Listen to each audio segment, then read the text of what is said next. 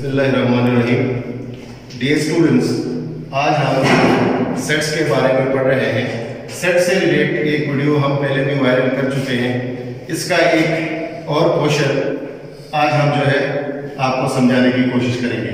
तो आज का जो हमारा टॉपिक है, वो है एक्सप्रेसिंग ए सेट किसी सेट को किस तरह से एक्सप्रेस किया जाता है, ये हम सीखेंगे।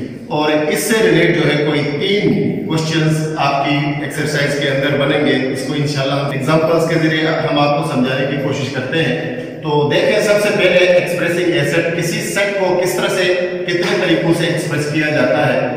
पहला जो तरीका है, पहला वो है डिस्क्रिप्टिव फॉर्म इसका मतलब क्या हो गया कि डिस्क्रिप्टिव फॉर्म में हम करते क्या है? किसी सेट को किस तरह से एक्सप्रेस करते हैं? डिस्क्राइब विद ए स्टेटमेंट किसी भी सेट को एक स्टेटमेंट की शक्ल में लिखना डिस्क्रिप्टिव फॉर्म कहलाता है। चंद एक एग्जांपल्स आपके सामने हैं।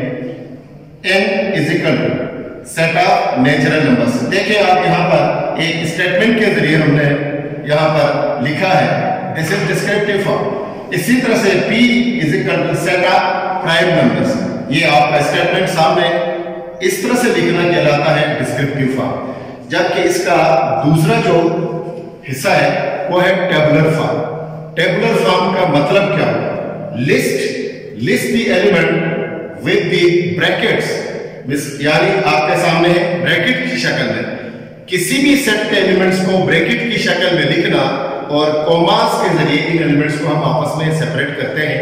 आपके सामने एग्जांपल मौजूद है। ये फ़र्स्ट फाइव इवन नंबर्स का सेट है। Two four six eight ten एक ब्रैकेट की शक्ल में हमने लिखा है और कॉमर्स के ज़रिए इनको हमने आपस में सेपरेट किया है। इस तरह लिखने को हम कहते हैं टेबलर फॉर्म एक और एग्जांपल आपके सामने है। One three five seven odd numbers का सेट है। एक ब्रैकेट की शक्ल में हमने लिखा है।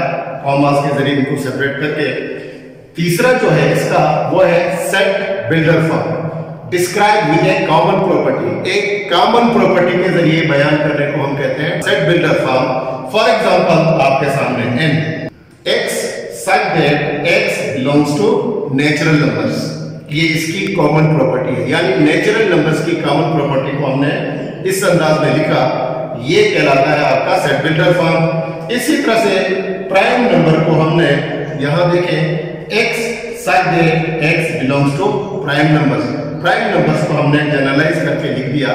ये इसकी कॉमन प्रॉपर्टी है।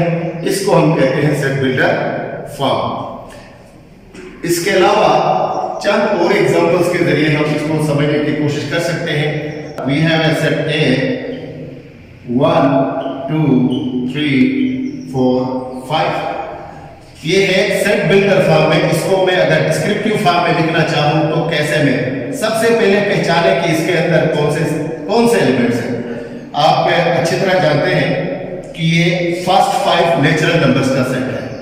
फ़र्स्ट फाइव नेचुरल नंबर्स का सेट इसको अगर मैं स्टेटमेंट की शक्ल में लिखूं तो ये बन जाएगा डिस्क्रिप्टिव फॉर्म फॉर एग्ज़ाम्पल अब आप देखें, इसको स्टेटमेंट की शक्ल में लिखेंगे set of first set of first five natural numbers तो ये कहलाता है डिस्क्रिप्टिव फॉर्म इसके अलावा अगर मैं एक और एग्जांपल इससे रिलेटेड दे दूँ तो ये आप देखें।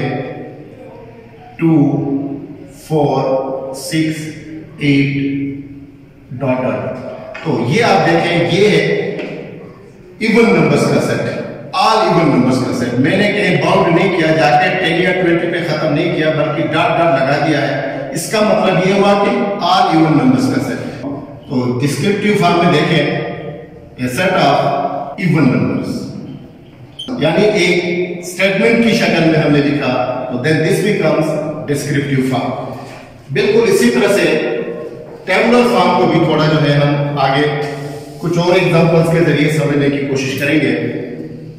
फॉर एग्ज़ाम्पल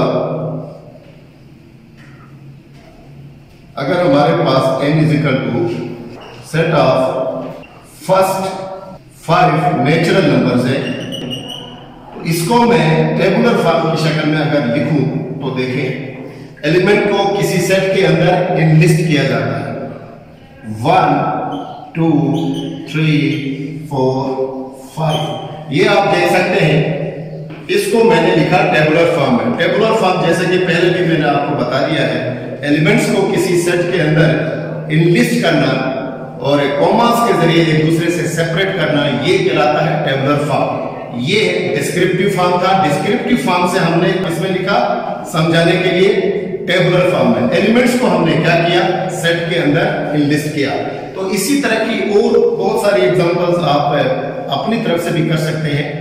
तो इधर भी हम देखें, उसी को अगर मैं सेट बिल्डर फॉर्म में समझाना चाहूँ तो ये देखें कैसे लिखेंगे। X such x belongs to natural numbers and x less than equals to 5 x less than equals to 5 यानी कॉमन प्रॉपर्टी नेचुरल नंबर्स की कॉमन प्रॉपर्टी को मैंने लिखा इस तरह से, x such that x belongs to natural numbers इसका मतलब ये हुआ कि इस सेट के अंदर हम नेचुरल नंबर्स लिखने जा रहे हैं, जो कि या तो 5 के बराबर है या 5 से छोटे हैं। इसका मतलब ये हुआ कि one two five natural numbers तो ये कहलाएगा सेट बिल्डर फॉर्म तो ये आपका एक्सरसाइज 1.1 में जो थ्री मेजर कंसेप्ट आपके थे एक्सप्रेसिंग सेट से रिलेटेड यहाँ पर कंप्लीट हो जाता है। तो यकीन स्टूडेंट्स आपको समझ में आया होगा। आज के लिए इतना कुछ। Thank you very much